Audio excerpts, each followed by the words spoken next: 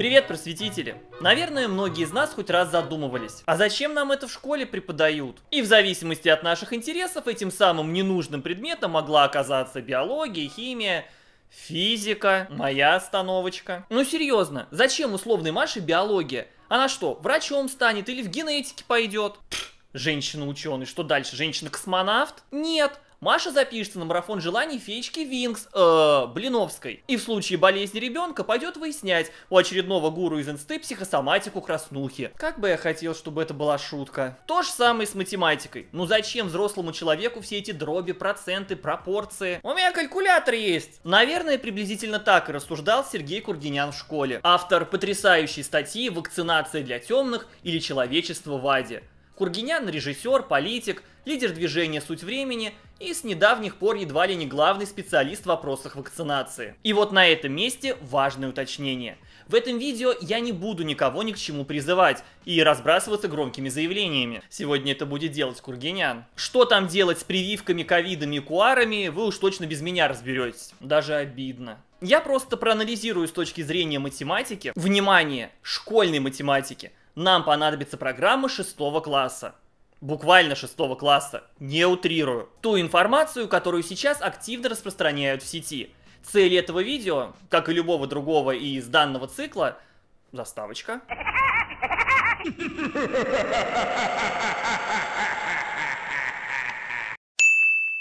Показать, как легко можно нами манипулировать, как просто мы поддаемся когнитивным искажениям и как порой неплохо обладать минимальным, тут очень большой акцент на минимуме, запасом школьных знаний.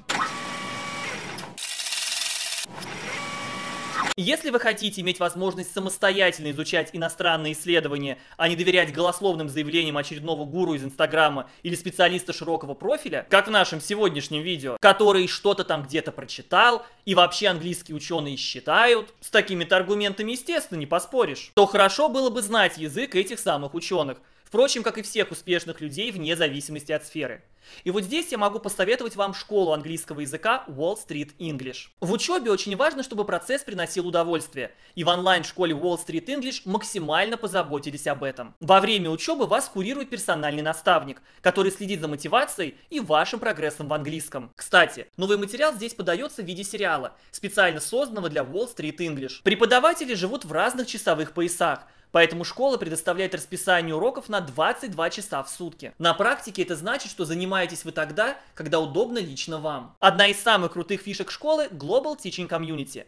Бесплатно, в рамках уже оплаченного курса, студенты могут брать занятия с преподавателями-носителями языка и студентами из США, Великобритании и других англоговорящих стран. Перед Новым годом мы все ставим себе цели на следующий год. И тут самое важное от слов перейти к делу. И прямо сейчас у вас есть возможность забрать полезные подарки от онлайн-школы. Тест на определение вашего уровня английского, бесплатный пробный VIP-урок и скидку 30% на онлайн-курс английского языка от Wall Street English. Переходите по ссылке в описании, проходите тест и поделитесь вашим результатом в комментариях под этим видео. А вот, кстати, мой результат. Если вы не живете под камнем и периодически появляетесь в сети и в инстаграме, то скорее всего вам знакома вот эта таблица – ну или ее вариации. Да и в принципе, когда речь заходит о вакцинации, а если это не просто речь, а самые настоящие дебаты, то пример Израиля обязательно рано или поздно всплывет. Чаще всего рано. При этом, как доказательство своей правоты, ситуацию в этой стране используют как сторонники, так и противники вакцинации. Причина – большой процент вакцинированных. С Россией тут точно не сравнить. Вот и герой нашего сегодняшнего выпуска решил в своей статье проанализировать табличку. Только вот с его математическими познаниями, повторю, шестой класс. Лучше бы он это не делал. Поскольку в разных возрастных группах разное число вакцинированных, то ситуацию надо обсуждать с оглядкой на это обстоятельство. Смотрите, логика все еще присутствует. Прошу обратить на это внимание, потому что это последний раз, когда мы ее здесь увидим. В группе 70-79 лет вакцинированных уже 93%. Как не чувствуют себя вакцинированные? Мягко говоря, не ахти, поскольку доля вакцинированных среди тяжело заболевших составляет, как вы думаете, сколько? 77%. А ведь как верили в вакцинацию, как стремились вкусить от ее безопасности. Ну так вкусили, за что боролись, на то и напоролись. И если посмотреть на табличку, действительно, первая реакция – шок. Вакцина не то, что не работает, она, судя по всему, вредит пожилым людям. И приблизительно к этому выводу ну или к идее бесполезности вакцин и подталкивает большинство товарищей, апеллирующих этой статистикой. Вот как наш автор. Вкусили, боролись, напоролись. Не забываем, перед нами не врач, не математик, а политик.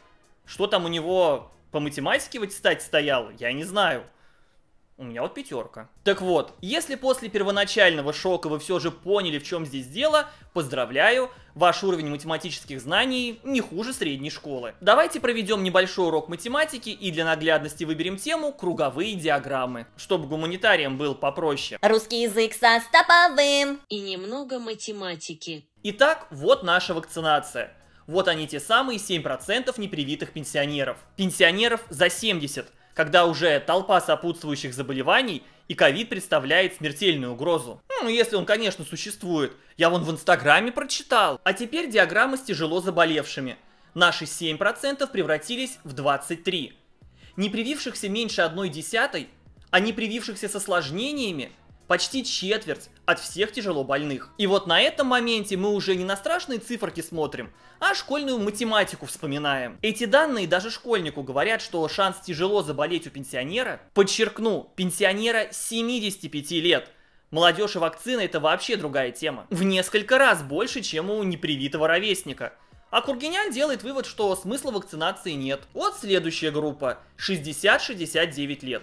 Непривитых всего 13%, а занимают они 42% коек. Одна десятая занимает почти половину. Дальше лучше. 50-59 лет. Непривитых 15%. А среди тяжело больных без вакцины 62%. Что там по шансам и страшным цифрам? А вот самая лучшая диаграмма. 20-29 лет. Непривитых 27%. А вот процент непривитых среди тяжело больных. Но вернемся к нашим страшным циферкам. Сейчас будет просто мечта конспиролога из Инстаграма. Я вас предупреждал. Представьте, что привили 100% населения. Тот самый прививочный ад. Никакая вакцина, и мы сейчас даже не о ковиде говорим, не может дать стопроцентной гарантии не заболеть. Она просто понижает шанс заболеть, шанс заболеть с тяжелыми последствиями, ну и возможность отбросить коньки.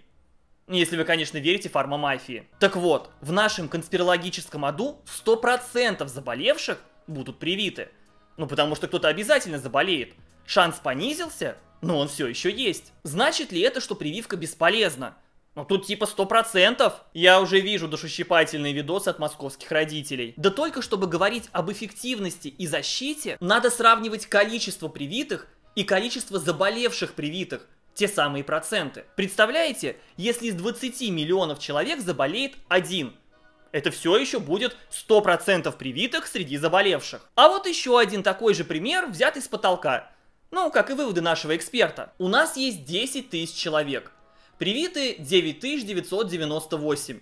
Два товарища отказались. Ну или медотвод. Считаю важным подчеркнуть, что я не считаю любого человека без прививки антивакцинатором. Ситуации бывают разные. В больницу попали 100 человек. 98 из них привиты. А что это значит? Правильно.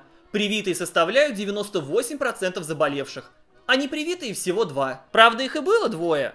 Каждый непривитый из моего примера заболел. Опять же, никакого отношения к реальности это не имеет.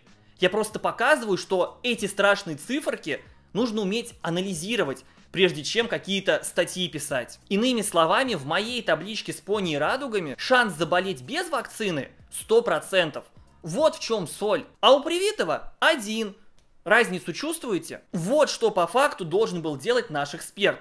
Смотреть на шанс тяжело заболеть. И вот, совершенно не понимая, как вычислять проценты, наш оратор смело проходится по каждой категории граждан. Ну, кроме тех, которые ему картину портят. У меня для вас плохие новости. Если ты парень, и ты смотришь меня из России, все эти данные о 80-летних израильских пенсионерах для тебя вообще не актуальны. Сколько в нашей стране в среднем мужчины живут? А вот на что стоит посмотреть, и на что, конечно, решил не обращать внимания наш правдорубец, это первые строчки. Среди привитых в возрасте от 12 до 29 лет 0% тяжело заболевших. Ноль, Карл. Ноль. Среди 40-летних 25%. Но вы можете сказать, что это подтасованные данные. Может быть. Да вот только сам герой антивакцинаторов их за чистую монету принимает. Он их анализирует. Он их использует как доказательство своей правоты. Просто он считать не умеет. А так, конечно, мужчина к успеху шел. увидел такое большое число и... О, да! Еще раз, я не утверждаю, что данные этой таблицы верны. Я просто говорю, что Кургинян со статистикой работать не умеет. Кстати, по поводу достоверности этих цифр. Источник – кадры с фильма. Кадр из фильма. Начнем с возрастной группы 60-69 лет. Если в более молодых возрастных группах большинство тяжело больных составляют невакцинированные, Ну, как минимум в трех группах не большинство, а только невакцинированные. Грубо говоря, единственный шанс для 25-летнего израильтянина загреметь по ДВЛ – это отказаться от вакцины. По статистике. то в возрастной группе 60-69 лет большинство тяжело больных – это вакцинированные. Вот вы потом говорите сколько угодно о ковид-диссидентах, а это все данные высших должностных лиц Израиля. Идиоты! Причем тут диссиденты? Это математика. У вас скоро утверждающие, что дважды два четыре, тоже будут диссиденты. Правильно. Математика. Слышите? Это не вера в вакцину или макаронного монстра с сырным крекером. Понимаете?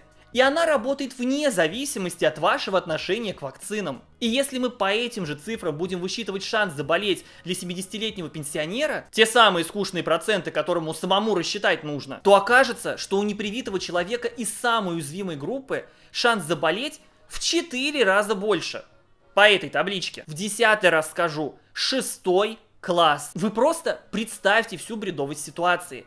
Человек ролики о бесполезности вакцин в Израиле снимает, используя вот эту статистику. И люди же его смотрят, репосты делают, благодарят. У, 75%, спасибо, что вывели на чистую воду. Еще раз, я не врач, не вирусолог, не политик, слава богу.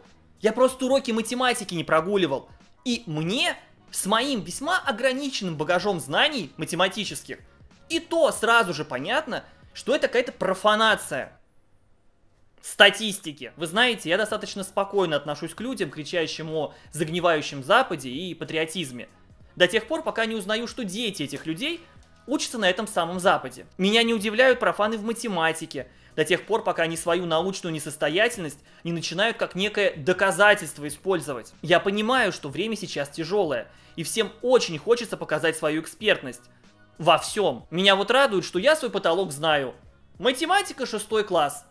Каков же уровень сторонников Кургиняна? Подобные исследования проводили и на Западе. И там уже несколько месяцев есть ответы на все эти крики о страшных израильских циферках. Давайте разберемся с конкретными данными. Вот она, та самая пугающая статистика на 15 августа. В больнице больше привитых. И вот на этом моменте анализ какого-нибудь инстаграм-борцуна обычно и заканчивается. А мы вот только начинаем. Мы с вами теперь воробьи стреляны и понимаем, что нужно знать соотношение привитых и непривитых. И что же мы видим, добавив буквально один параметр?